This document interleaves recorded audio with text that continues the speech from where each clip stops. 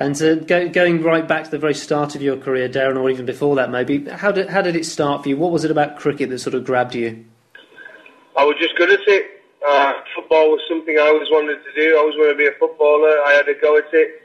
Uh, the cricket came along, and I found the talent. I could bowl, swing the ball. I got quicker as I got to around 21, 22. Uh, started playing for England, and it was an amazing. It was it was great to play a sport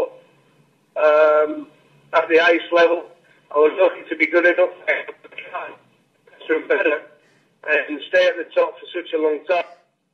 Uh, but it was an absolute blast, and I wish I could do it all again.